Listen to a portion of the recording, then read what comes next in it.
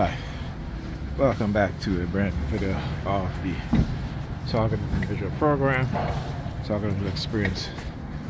Uh, I was upstairs again being remotely monitored by the New York Predator Department and its Predator officers who were engaging in illegal surveillance also by the gross uh, invasion of one's privacy, of one's private thoughts, and in every way. Okay? Whether I'm going to use the bathroom, you know, or what have you. And it's so funny, if I'm wiping my behind, they use the sirens or the horn. If I'm taking a pee, use the sirens or uh, the car horn. So it's like, you know, it's, you, you have a, uh, not have a sense, but you know that you have no privacy at all. None. So I would like to see them try to justify that. And I hope there are people out there that are doing the same thing to them. This is why when they get on television and talk about other states, nation uh, hacking into their system, doesn't really bother me because they do the same thing. They do the exact same thing. As a matter of fact, they started. Talk about those in the security agencies here in the United States. Also, we know that police departments all across America are highly uh, militarized. We see them rolling out tanks. Uh, we see them uh, buying robots, right? Highly uh, militarized. Well, what a lot of people don't know, and again, I've said, I talked about this already, particularly the New York City Police Department, okay, which has been given the nickname the baby CIA. And it was given that nickname for a reason. It was given that nickname because during the crack era, which was perpetrated by the US government on the black community, in order to fund their, I shouldn't say, Oh, well, let me, let me, let me rephrase that, which was perpetrated by some within the US government to fund their illegal war. All right, I'm not going to blame the entire government for this one, except for those bad actors and actresses who held those positions within our government office, within political office, within law enforcement, within the FBI, within the DAE, uh, right? or the DEA, I should say, the DEA, the Drug Enforcement Agency, right? That the CIA had embed had embedded agents within, especially within the New York City Police Department, right? When you look at the period in which you start to see uh, not only mass inc mass incarceration, but uh, but also the uh, also suspects. Okay, basically incriminating themselves in what is called. Um, see if I remember the name uh, of it.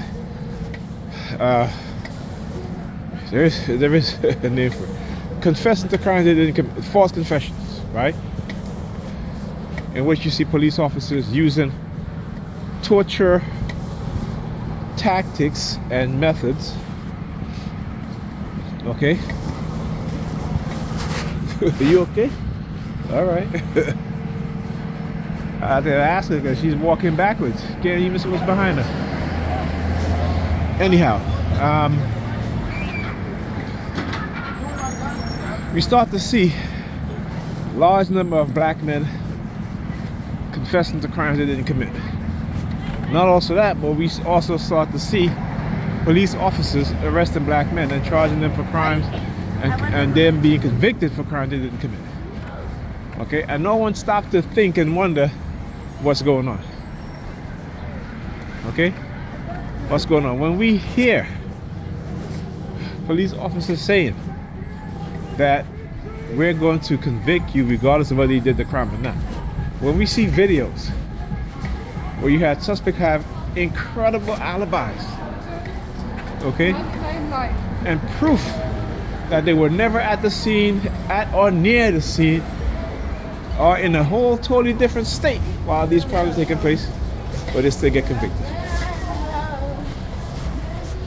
Okay, this is why we have the Innocence Project today. And this is why we continue to see particularly black men being exonerated for you know after spending two, three, four decades in jail for crimes they didn't commit. Alright? And why do you think, particularly New York City police officers, why do you think they retire into Florida in mass?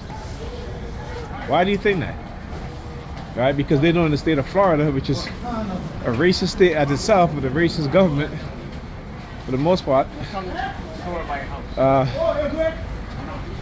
they retire into Florida because Florida is a state that's going to protect them. At least they believe so.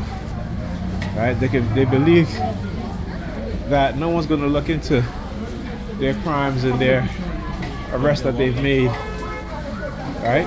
Just like in Chicago, you also had uh, and in New York too. I'm sure we have yet to find, but, but we will these so-called black sites we see in Chicago, we see in what is it, uh, Louisiana, I think, Missouri, in which they torture suspects. Again, illegal, but it's got. Where does the name come from? Black site. It's a CIA term name for facilities which is off the books in which they torture uh, people. Okay, and you see police police departments have such facilities. All right. So like I said, I don't just talk and uh. Not my opinion. It's it's a fact. You can go look it up. All right. And then you see their unwavering support for Israel because New York City police officers over the past two decades have been traveling to Israel for training not also that, but has been engaging with Israel in developing illegal surveillance tools. Right? We know that. Okay?